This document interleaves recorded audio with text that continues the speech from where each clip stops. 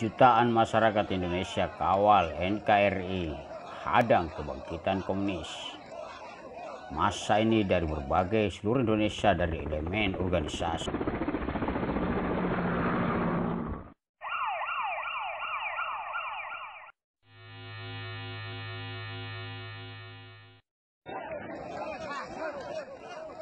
Jutaan elemen organisasi masyarakat dari Sabang sampai Merauke Beberapa di antaranya dari Jawa Barat, Jawa Timur maupun dari Yogyakarta. Mereka melakukan unjuk rasa berkumpul, memperlihatkan kekuatan untuk menjaga negara kesatuan Republik Indonesia dan menghadang laju pertumbuhan atau bangkitnya kembali Partai Komunis Indonesia yang dianggap memiliki sejarah hitam di masa lalu tahun 1948 dan tahun 1965. Jutaan masa ini berkumpul dan mempermilkan diri untuk menjaga NKRI setelah adanya rencana Undang-Undang Haluan Ideologi Pancasila atau RUU HIP yang saat ini dibahas oleh para anggota Dewan Perwakilan Rakyat Republik Indonesia. Akibatnya Majelis Ulama Indonesia membuat maklumat bahwa RUU itu tidak mencantumkan TAP MPRS nomor 25 garing MPRS garing 1966 tahun 1966 tentang pembubaran Partai Komunis Indonesia. Partai Komunis dalam TAP MPRS itu merupakan organisasi terlarang di seluruh wilayah negara Republik Indonesia serta ada larangan setiap kegiatan atau mengembangkan paham atau ajaran komunis Marxisme, Leninisme yang merupakan sebuah bentuk pengabdian, pengabaian terhadap fakta sejarah yang sadis, biadab, dan memilukan yang pernah dilakukan oleh Partai Komunis Indonesia di Indonesia. Sehingga sama artinya dengan persetujuan terhadap pengkhianat bangsa. Itu kata Wakil Ketua Umum Majelis Ulama Indonesia Muhyiddin Junaidi di Jakarta pada Sabtu 13 Juni 2020 lalu. Ia menjelaskan rancangan Undang-Undang HIP telah mendistorsi substansi dan makna nilai-nilai Pancasila sebagaimana yang termaktub dalam pembukaan dan batang tubuh Undang-Undang tahun 19 Kami memaknai dan memahami bahwa pembukaan Undang-Undang Dasar tahun 1945 dan batang tubuhnya telah memadai sebagai tafsir dan penjabaran paling otoritatif dari Pancasila. Adanya tafsir baru dalam bentuk rancangan Undang-Undang HIP justru telah mendegradasi eksistensi Pancasila, kata Muhyiddin. Menurut dia, memeras Pancasila menjadi Trisila lalu menjadi Ekasila yakni gotong royong adalah nyata-nyata merupakan upaya pengaburan dan penyimpangan makna dari Pancasila itu sendiri.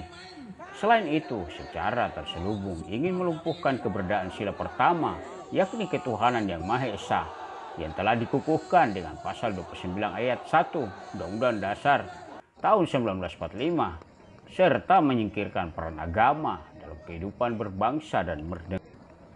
Muhyiddin menegaskan bahwa ini adalah bentuk pengingkaran terhadap keberadaan pembukaan dan batang tubuh Undang-Undang Dasar tahun 1945 sebagai dasar negara sehingga mau bermakna pula sebagai pembubaran NKRI yang berdasar pada lima sila tersebut. MUI meminta kepada praksi-praksi di DPR RI untuk tetap mengingat sejarah yang memilukan dan terkutuk yang dilakukan oleh Partai Komunis Indonesia terhadap peristiwa sadis tak berkemanusiaan yang mereka lakukan pada tahun 1948 dan tahun 1965. Keberadaan RUU HIP patut dibaca sebagai bagian dari agenda itu, sehingga wajib RUU HIP ini ditolak dengan tegas tanpa kompromi apa pun. MUI mencurigai bahwa konseptor RUU HIP ini adalah oknum-oknum yang ingin membangkitkan kembali paham dan Partai Komunis Indonesia. Oleh karena itu, lanjut dia patut diusut oleh pihak yang berwajib. Untuk itu, MUI menghimbau umat Islam Indonesia agar tetap waspada dan selalu siap siaga terhadap penyebaran paham komunis dengan berbagai cara dan metode licik yang mereka lakukan saat ini. MUI juga menyatakan mendukung sepenuhnya keberadaan TNI sebagai penjaga kedaulatan negara kesatuan Republik Indonesia sekaligus mengawal Widin menegaskan bila maklumat ini diabaikan oleh pemerintah, maka pimpinan pusat MUI, pusat dan senat pimpinan MUI se-provinsi se-Indonesia mengimbau umat Islam Indonesia agar bangkit bersatu dengan segala upaya konstitusional untuk menjadi garda terdepan dalam menolak paham komunisme dan berbagai upaya licik yang Sementara itu, Pengurus Pusat Muhammadiyah telah mengeluarkan surat edaran yang berisi alasan bahwa RUU HIP tidak terlalu urgent dan tidak perlu dilanjutkan pembahasannya menjadi undang Markas Komando Kesiapsiagaan Angkatan Muda Nasional atau Kokam mengeluarkan memo yang berisi instruksi kepada Kokam untuk membentuk komando kawal keputusan PPMU. Kemudian Kokam Muhammadiyah Daerah Istimewa Yogyakarta mengikuti aksi anti RUU HIP yang diadakan oleh Forum Ukhuwah Islamiyah daerah istimewa Yogyakarta merupakan gabungan ormas Islam di daerah Yogyakarta.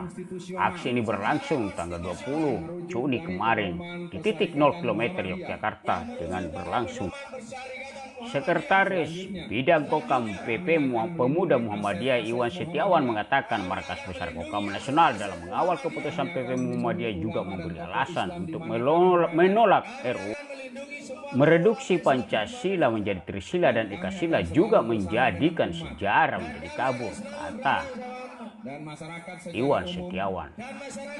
Menurut Iwan, Pancasila memang berasal dari ide Soekarno, tetapi perumusan menjadi Pancasila yang seperti sekarang ini dibahas oleh tim yang terdiri semua.